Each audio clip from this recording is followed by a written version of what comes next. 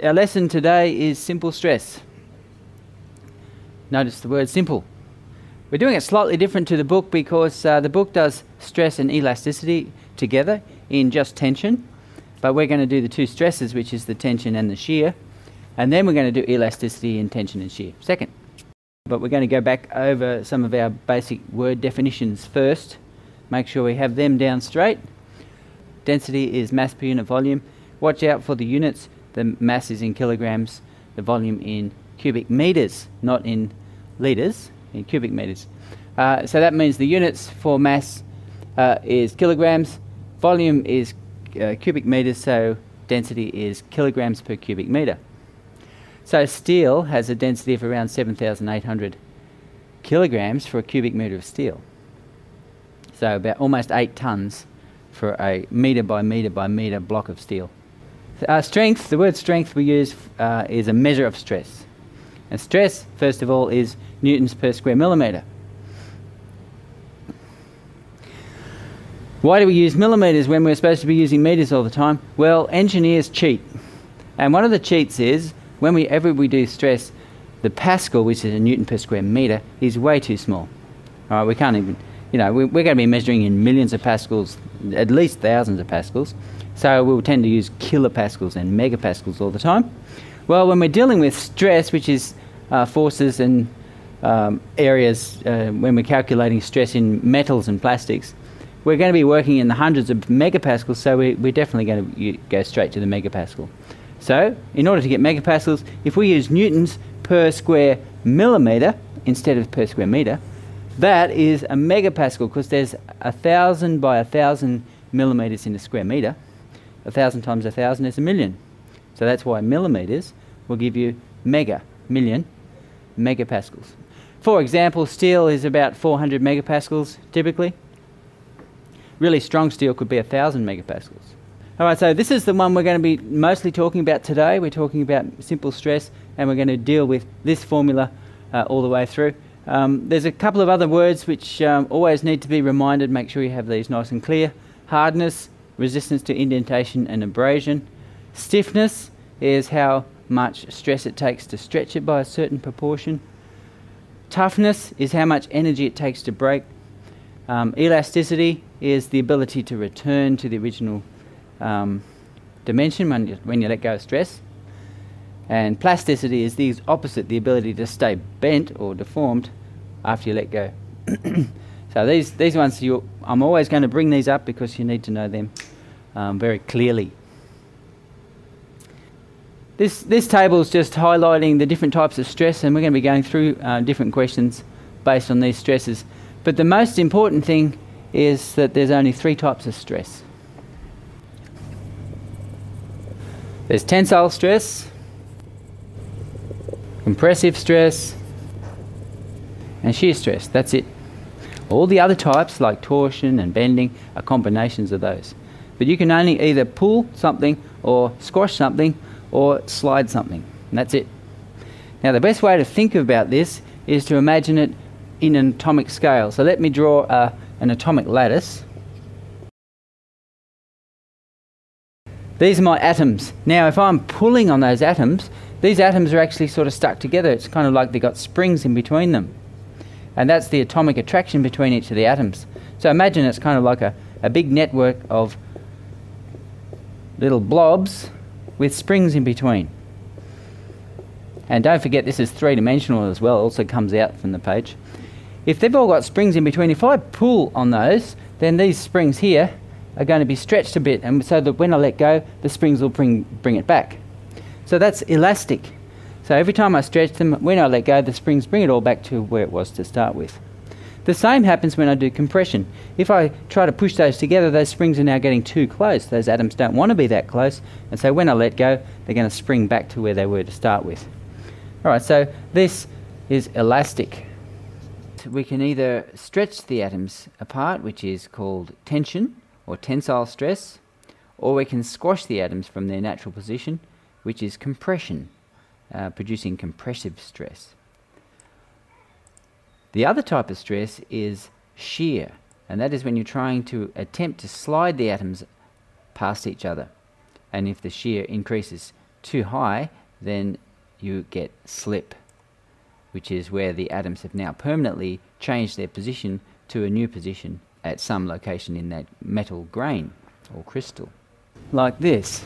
Let's say we've got these two along there, and this one started off here, but I, I keep pushing it till it gets to about here. Then the connection that it used to have to there is now stretched so much that it's actually closer to this one. And so what can happen is this connection can flip and go to this one instead. It's decided, oh, forget it, I'm going to go to the next one, next atom. When that happens, that's called slip. And uh, shear is the easiest way to understand uh, slip because I'm trying to push these atoms across. I've pushed them so far that they would actually prefer to click to the next atom. And as soon as it does that, as soon as that connection now is joined to the next atom, when I let go, it's not uh, elastic anymore, it's permanent. So these stretching and pulling of the um, atom's attraction is elastic, but if I take it too far so that that attraction switches to another atom, which is called slip, that's plastic. Elastic bounces back to the original, but the plastic one is permanent.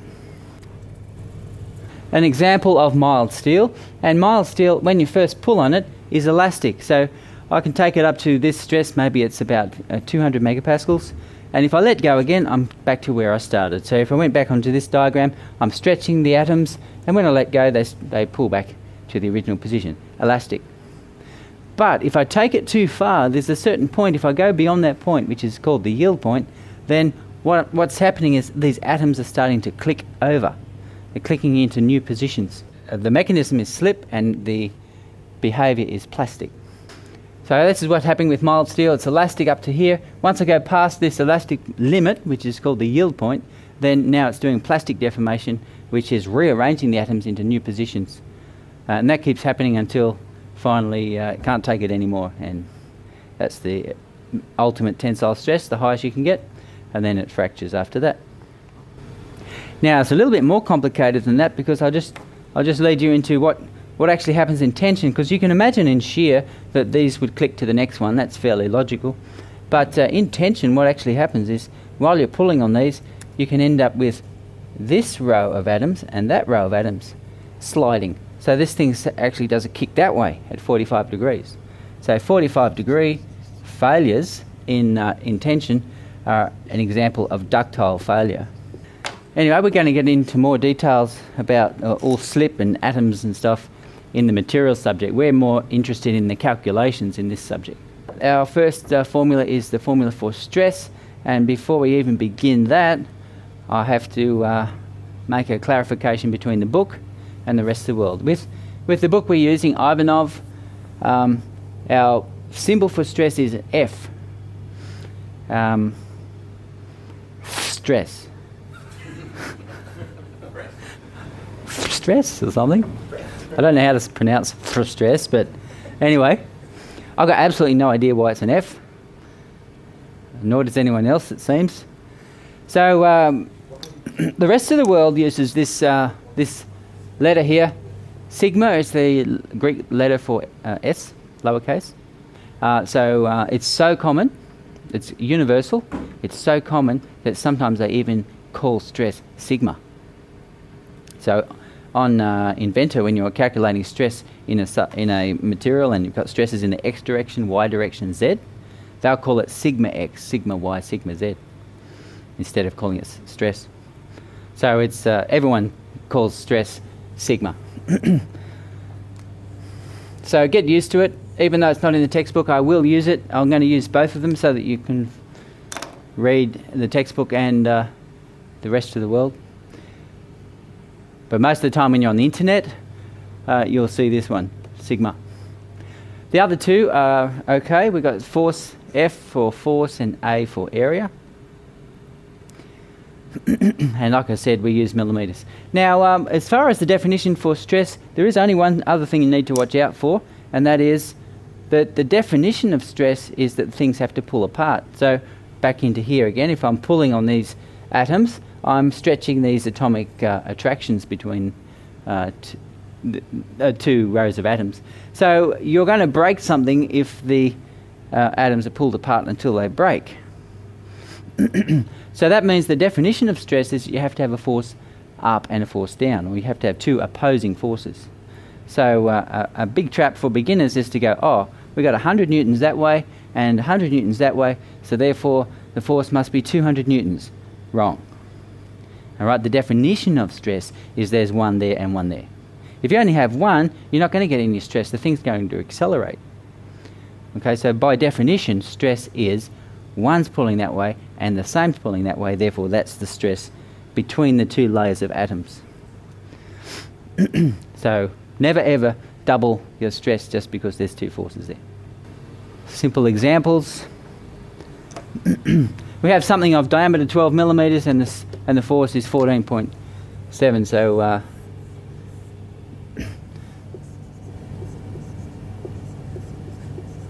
Fourteen point seven kilonewtons is pulling on both sides and the cross section of this is 12 millimeters diameter. Okay, we're trying to calculate the amount of stress, so we have to work out what is the area that the stress is applied over and what is the force. So force is 14.7 kilonewtons, so it's 14,700 newtons, and the area is pi r squared which is the same as pi d squared over 4. Same thing, um, because that's in 12. So we could do pi times 6 squared, or we could do pi times 12 squared divided by 4. So that's pi times 6 squared, or 36 pi. Alright, so when we put those numbers in, stress is force over area. 14,700 and the that's the force and the area is um, 36 pi. Put that in your calculator you get about 130 130 is the answer. Now what are the units? Newtons per square millimeter. And newtons per square millimeter is megapascals so that's 130 megapascals so that would be the question okay, if, if I do have that much force and it's 12 millimeter diameter, can, can steel handle that amount of stress? And we look at 130 megapascals and we say, yeah, steel should be fine for 130 megapascals. So therefore, we can make it out of steel. But if we made it out of a piece of plastic, we might be worried because 130 megapascals is pushing it for plastic. Unless, yeah, carbon fibre, you handle it. Right, this one's uh, asking the question around the other way. We've got um, something, some copper wire, and it was holding 264 newtons. Uh, how thick does the copper wire have to be uh, in order to handle that amount of force? And so this time we're working around backwards, and we have to go and look up the uh, strength of copper, and it says the ultimate tensile strength is 415 megapascals. so this time we're working backwards. We're saying we want to find out what the area should be. So it broke at 264. So let's have a look at the formula again. Stress stress equals force over area. We know the stress 415. We know the force 264. We're trying to find area. So rearrange this formula, put area over here. Area equals force divided by stress and force is 264 stress that it can handle is 415 so that gives us an area of 0.6 square millimeters. Now we can get from that the diameter. So it's just like a piece of wire.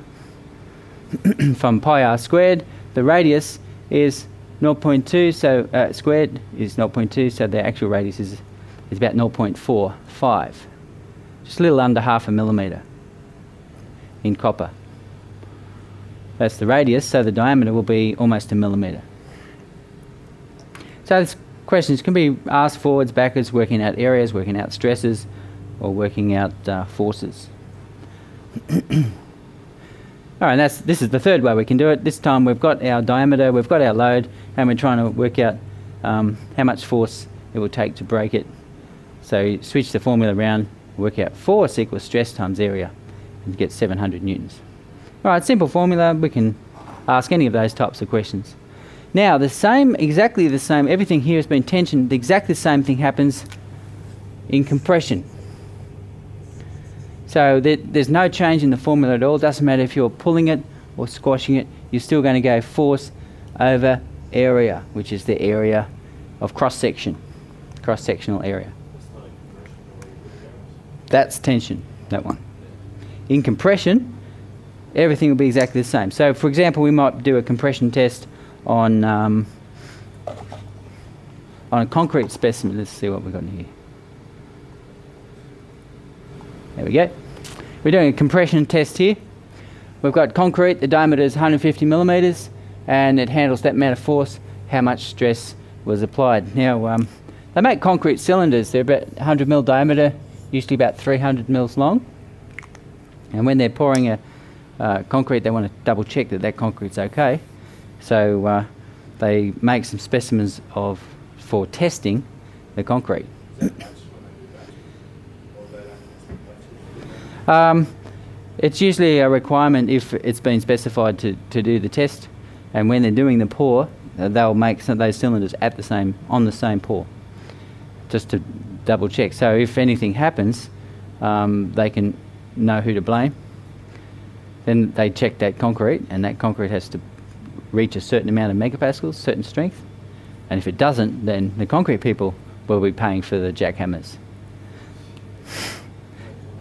Also, if the concrete people know that it's being tested and they've been warned, hey, we're going to be doing test cylinders for this of such and such megapascals, they're going to go, oh, okay, make sure this is all good.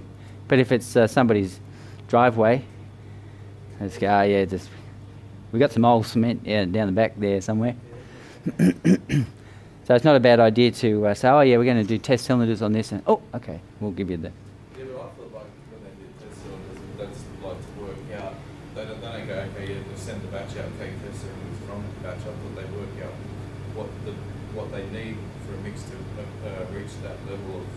That's that's right. That's right. You say I want 30 megapascal concrete. Yeah. They sh- they know how to mix that because it's a certain percentage of concrete. Well, 75 is really high. Yeah, yeah, that that's like the highest performance, pretty much. Um, yeah, that, it means usually that they have to have less sand, more gravel, and more cement. So more yeah, and the sand will have to be cleaner because because um, the really fine sand, like clay type sand, is what weakens it, and too much water weakens it, and not enough cement. Yeah, and all that stuff. Yeah, yeah. They'd probably have to um, slow it down as well, because it'll get probably get too hot because it's got so much cement. So if you want harder concrete, you have to go more cement, uh, less clay, less fine sand, and um, make sure the aggregate's hard. Has to be strong enough because the aggregate could actually be weaker than the cement sometimes. And not too much water. Too much water makes it softer. All right. So um, we're testing this one out, and we're working. You notice this formula is exactly the same. Tension or compression works exactly the same. It's, it would be just like this, except the arrows are going the other way. And so we have our newtons, which is 433,000, divided by pi r squared for our diameter, and we get 24 megapascals, which is, yeah, pretty standard concrete. Mind you, if that's supposed to be 25 megapascals, we just failed. It's supposed to be over that 25, not under. So that might be 20 megapascal concrete. Yeah, and standard concrete is um, between 20 and 30, be a standard one. All right. Um, the next thing I want to mention is the uh, factor of safety because um, if we went back to this one and said, okay, we'll go back to our original question. We have 130 megapascals. Let's get rid of this sec. Let's say we're going to pick something up and we worked out that it's going to be 130 megapascals stress in that material. Now, it's not a good idea if you're picking up something and you're going to hang it over people's heads to have a piece of metal there that handles exactly 130 megapascals. Why not? Why is that a bad idea? Right, you're right on the limit, so you don't want to be right on the limit when you're actually making something. So what you want is you want to have yourself a factor of safety. For example, if I had a factor of safety of 2, I would be choosing a material of 260 megapascals. Right now, for most lifting things, they're going to safety is effective factors of safety between 3 and 5. Usually a lift is about 5. So we want a material here which is much more than 130. We might be looking at six, 700 megapascals um, to be extra safe. So a factor of safety simply is a ratio of the stress. The working, the stress that we calculate compared to what's the ultimate stress. So if the ultimate stress was um, 260, then our factor of safety is 2. If the ultimate stress was 520, factor of safety 4. So you apply factor of safety to stress. You could apply a factor of safety to force and just do it that way, but it's a not a good idea because some the, the way you arrange some things, if you change the force, the stress might um, increase out of proportion. So always apply a factor of safety to the stress. okay, we just did compression, of safety again. It's too easy. Right, now I said there's three types of stress. Tension and compression are very easy. They're just opposites of each other and they work exactly the same way. Uh, it's just that they fail differently, of course. You don't often have a failure in compression. Tension is much more important than compression. However, shear is another common way things can fail. So some quite often things can fail in shear as well. What is shear stress? Shear, remember, is the sliding effect. So if things are going to slide this way, that's a shear. If it's just pulling, that's tension. And if it's squashing, that's compression. Back to symbols. Watch out for symbols again. According to the book, the shear stress is F with a little s on it. So we have Ft for tension, Fc for compression, and Fs for shear. That's the book. The rest of the world has a different idea, and for shear stress, they have this symbol here, which is called tau. Looks like a curly T for um, uh, in the Greek letter.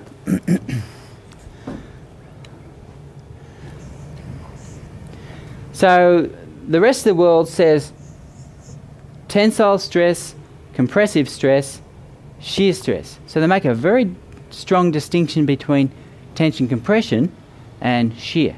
And they are actually quite different. Tension compression is just a pure stretch or squash of the atomic um, connections, but shear is sliding them this way. So it's quite different. So they have a word for tension and compression. They call these two axial stresses. And the other one is the shear stress. So if we say axial stress, we mean tension or compression. They're axial because they go in a straight line along an axis. And shear stress is sliding. So uh, where does sliding happen? Well, yeah, welds are quite often in a, in a shear stress. And bolted bolted joints, yep. Going to start off with a what have we got here? Yeah, we're going to we got a plate. We're going to punch out a uh, a disc. the diameter of this is 12 millimeters, and the thickness is six mil. All right, what's the area in shear? The formula is still the same. Stress equals force on area. That's always the formula. So stress, this is shear stress this time, stress equals force over area. So what's my force? I'm told the force is, we don't know. And what's the material? Mild steel. So mild steel has a shear stress, ultimate shear stress of 360. That's that one. All the stresses have the same formula, stress equals force and area. The only thing you've got to watch is when you're doing shear stress, watch out for the area. So what is the area that failed when we punched out this disc? The area is not pi r squared. That would be squashing the disc. We're trying to slide the disc out from the rest of the, the metal, the rest of that plate. So the part that failed is actually this bit here. All the way around. It's like a little fence. Right? So that's the area we calculate. So when you're doing shear, watch out. Don't just do, you're so used to doing cross-sectional area, think, oh yeah, that's all I have to do. No, in this case, we have to do the perimeter wall that's slid apart because that's the, that's the shearing. So how do I calculate the area around there? Good, so it's circumference times the depth there. So circumference is pi d, and the depth is your thickness t. So it's pi times 12 times 6.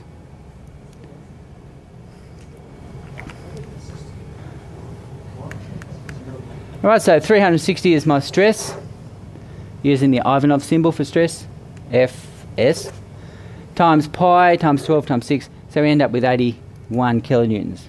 We're going to take 81 kilonewtons to punch this out. So make sure your press has got enough force to uh, press that out. Of course, they cheat a little bit too when they're punching. Quite often they'll punch so that it uh, rolls around. It, it, may not be dead flat, it might be on a slight slope. It depends how thick the metal is. uh, like a guillotine doesn't cut a sheet all in one go, it cuts it like scissors, and that reduces your force a lot.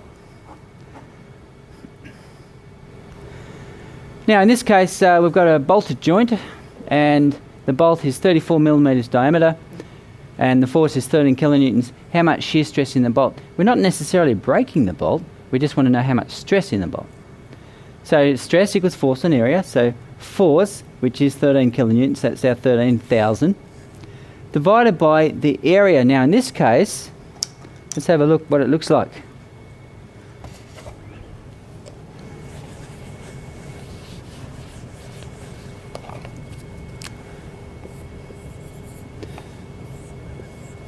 We've got our bolt and there's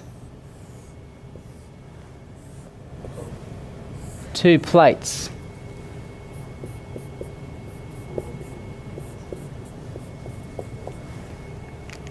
And we're pulling on those plates with 13 kilonewtons. 13 kilonewtons down, 13 kilonewtons up. How many kilonewtons altogether? 13. All right, that's the definition.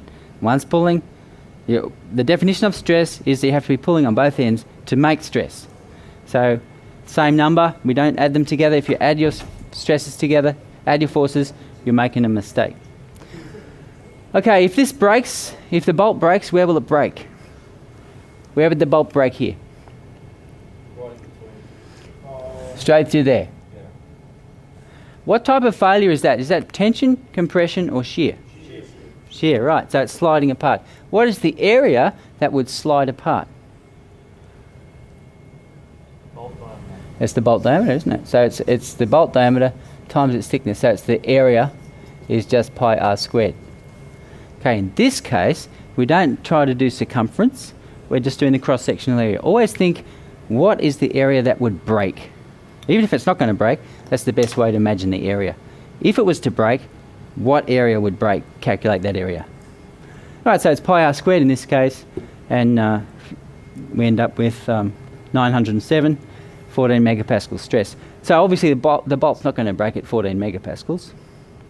A bolt should be able to handle a couple of hundred megapascals. so, yep. Why do we use washers?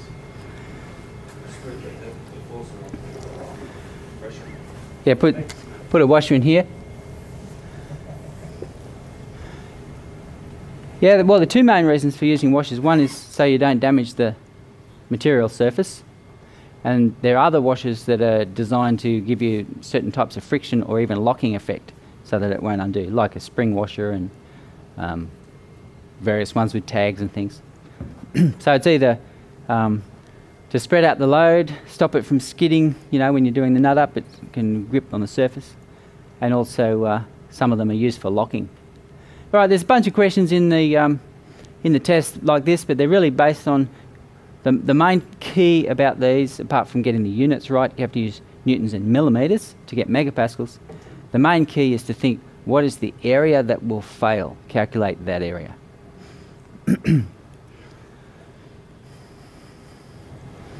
Looking for a factor of safety for this first one here. Um, trying to find the diameter. so when we're trying to find diameter, we, we're really trying to find area first and then go from area back to diameter.